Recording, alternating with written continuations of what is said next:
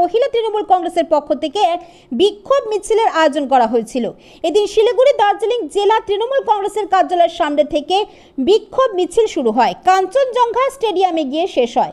মিছিলে উপস্থিত ছিলেন দার্জিলিং জেলা সভাপতি পাপিয়া ঘোষ।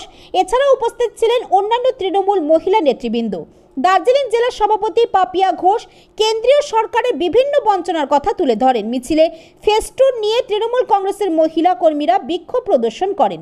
মিছিল থেকে বিজেপি গো বলে স্লোগান দেন।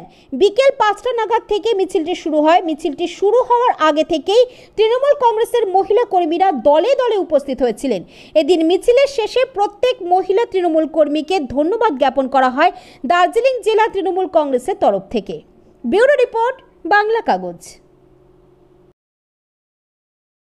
আজকে আপনাদের প্রতিবাদ মিছিল কি নিয়ে? একদমই কেন্দ্রীয় বঞ্চনার যে লাগাতার ভাবে চলছে দিনের পর দিন যার বারবারন্ত আমরা দেখতে পাচ্ছি। যার দরুন গত মাসের বাইশ এবং তেইশ তারিখে আমরা একটা ধর্ণা মঞ্চের মাধ্যমে বত্রিশ ঘণ্টা ধর্ণা মঞ্চ মহিলারা আমরা পথে বসেছিলাম। যেখান থেকে আমাদের একটাই কেন্দ্রীয় সরকারকে জানান দেওয়ার কথা ছিল।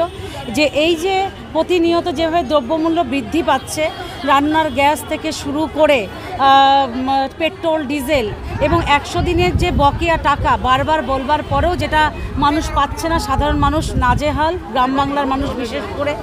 এবং এই যে আবাস যোজনা যা নিয়ে রাজনীতি, রীতিমতো রাজনীতি করা হচ্ছে প্রত্যেকটা বিষয় নিয়ে আমরা এর আগেও ধর্নায় বসছি, এর আগেও আমরা মিটিং কখনো মিছিল আমরা করেছি।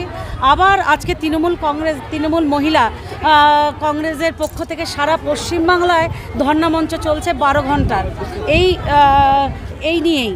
তো এই মতো করে আমরা শিলিগুড়ির রাজপথে আজকে তৃণমূল কংগ্রেস, মহিলা তৃণমূল কংগ্রেস, আমরা দার্জিলিং জেলা মহিলা তৃণমূল কংগ্রেস আজকে রাজপথে নামতে বাধ্য হয়েছি। আগামী দিন যদি কোনোভাবে তারা কর্ণপাত না করে আরও বৃহত্তর আন্দোলনে আমরা নামতে বাধ্য হব, বিশেষ করে যেভাবে গত পরশু অভিষেক বন্দ্যোপাধ্যায়ের বিরুদ্ধে যে ন্যাক্কারজনক ঘটনা ঘট- ঘটানো হয়েছে, মন্দিরে তাকে ঢুকতে দেওয়া হয়নি, মহিলাদের যেভাবে অমানবিক অমানবিকভাবে তাদের উপর অত্যাচার করা হয়েছে, যেটা একটা সর্বজনীন জায়গা ছিল, যেখানে সবাই ধর্ম, বর্ণ, দল নির্বিশেষে যেতে পারে, সেটাকে নিয়ে যেভাবে রাজনীতি করা হয়েছে, তার বিরুদ্ধে আজকে এই মহামিছিল।